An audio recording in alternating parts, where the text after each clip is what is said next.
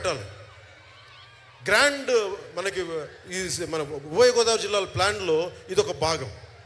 ఎందుకంటే దీనివల్ల చాలా టూరిజం రిలీజియస్ టూరిజం డెవలప్ అవుతుంది భక్తులు వెళ్తారు పది మందికి ఉపాధి అవకాశాలు వస్తాయి.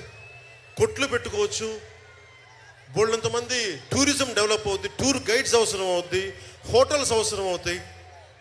అందుకని భవిష్యత్తులో మన ఉభయ గోదావరి జిల్లాలకు సంబంధించిన ఈ మాస్టర్ ప్లాన్లో ఇదొకటి.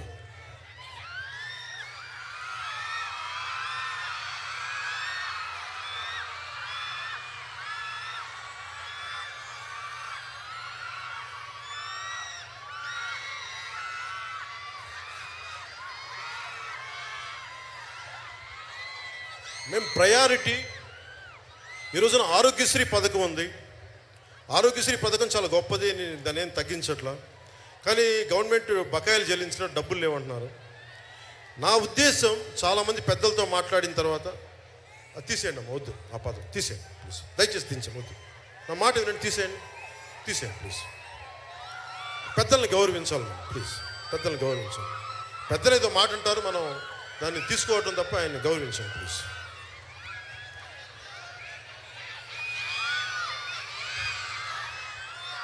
మనకి